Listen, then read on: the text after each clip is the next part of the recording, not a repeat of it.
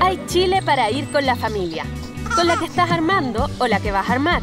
Para los hijos que recién llegan y para los que todavía no se han ido. Tu versión nadadora o tu versión ahora nada para conocer nuevas comunidades o para encontrarte con las que sigues. Hay Chile para los TikTokers, Instagramers y videollamaders. Para ejercitar las piernas, el olfato y esos 12 músculos que se activan en esta carcajada. Hay Chile para aprovechar las mañanas, las tardes, las noches, los findes y los findes largos. Hay parques, montañas, playas, ciudad, deporte, aventura, comidas, historia, hielo, desiertos, estrellas, cultura para disfrutar con hijos, amigos, parejas, hermanos, sobrinos, tíos, abuelos, mascotas o para conocer gente nueva. Hay Chile para que todos podamos disfrutar.